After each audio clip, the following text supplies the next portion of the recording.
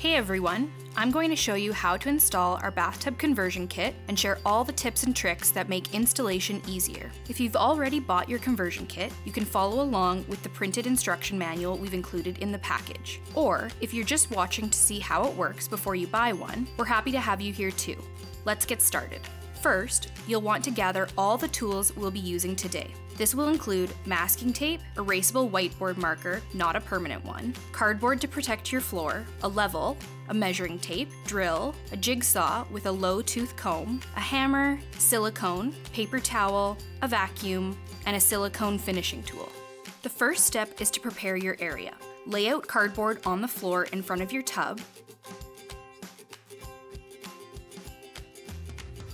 and inside your tub and tape it down. You'll be stepping on this and you don't want to get any silicone on there later on. Then the second step is to mark the placement of your kit. Place your kit on the wall of your tub exactly where you want it to be installed. Pay attention to the curvature of your tub. With an erasable marker, mark the sides of the kit on top of your tub wall. These will be the start of your cut lines. Apply tape roughly in the areas where you'll be making the cuts in the tub. The tape will protect the tub's finish. It holds the gel coat together and protects acrylic finishes. You should be able to see the two marks that were made on top of the tub wall through the tape. On the inside of the tub, mark your tape where the bottom of the kit will sit. Use a level to draw a straight line, level line for the cut line for the base of the kit. Measure the distance from this baseline to the top of the tub wall using a level. Make a line at the same height on the outside of the tub. Place the template back on the tub, ensuring it is level and lined up with the cut lines that were marked on top of the tub wall. and trace all edges onto your tub.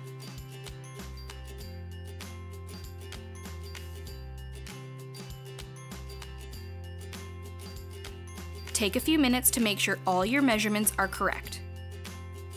Cut lines should be the same height and width apart on the inside and outside of your tub. Again, use a level for accuracy. Double check all your drawn cut lines. The lines need to be within a quarter inch tolerance. Now you're ready for step three, cutting your tub. Drill holes on each corner of your cut lines, inside and outside of the tub. This is where your jigsaw will make its first cut. If the corners are too low for your jigsaw, drill holes halfway up your cut lines instead. Using a jigsaw, saw the base cut lines first on the inside and outside of your tub.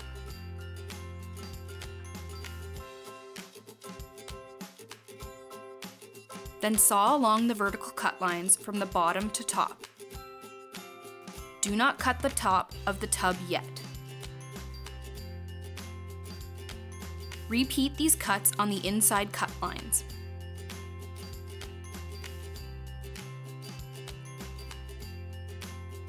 You can then cut along the lines on top of your tub wall.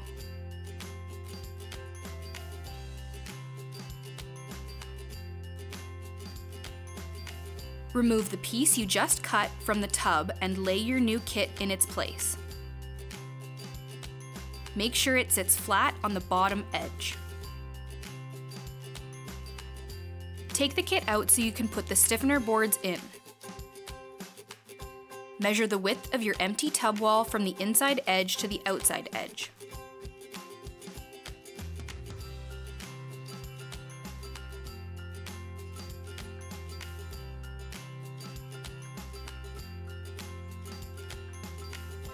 Cut your base stiffener board to match this width.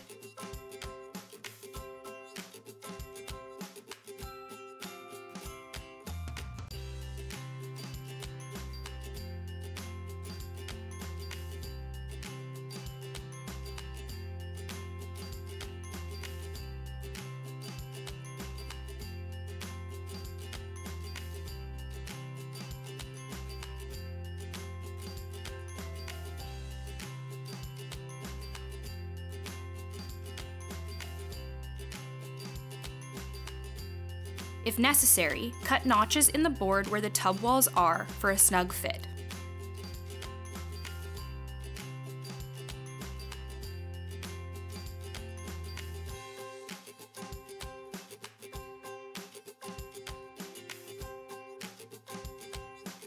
Once you've made your cuts and the board fits snug, tap it into place with a hammer.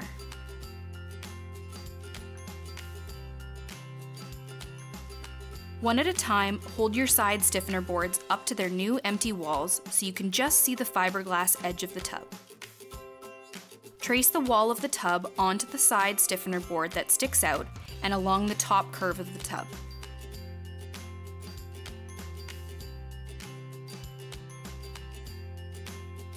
Using these lines, saw the side stiffener boards to fit the inner walls.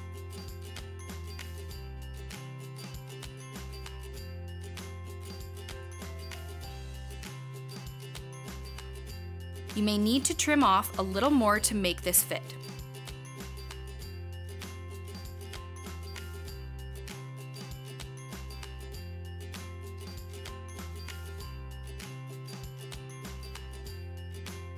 tap them in place with a hammer.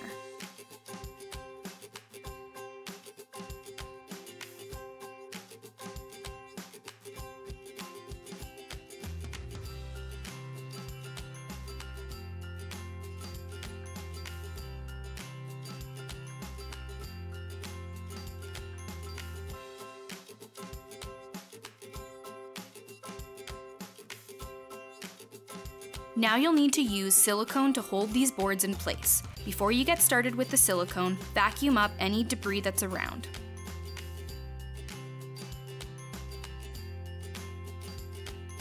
You'll need to remove the boards you just hammered in. Line the inner edges of your exposed tub with silicone and replace your boards, again tapping them snug with your hammer.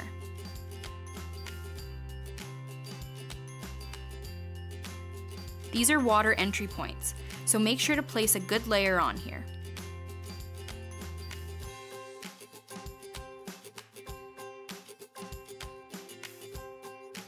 Liberally apply more silicone on the baseboard and sideboards.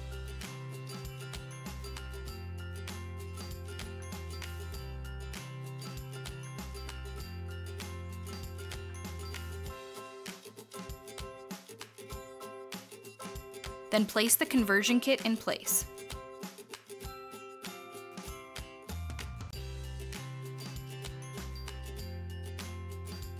Take measurements to ensure the kit is installed evenly and square in the tub.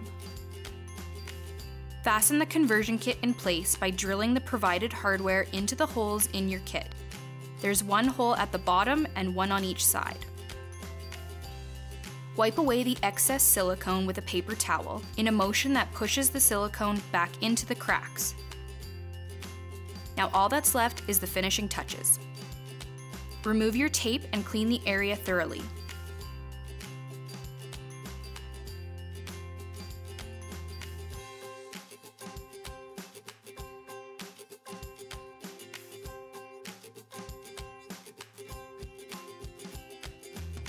Line the perimeter of the kit with a finishing bead of silicone.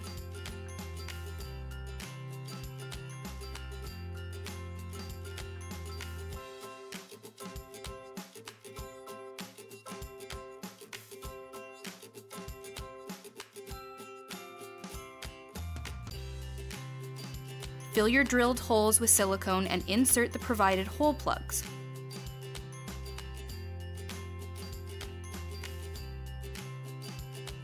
Wipe off excess silicone with more paper towels.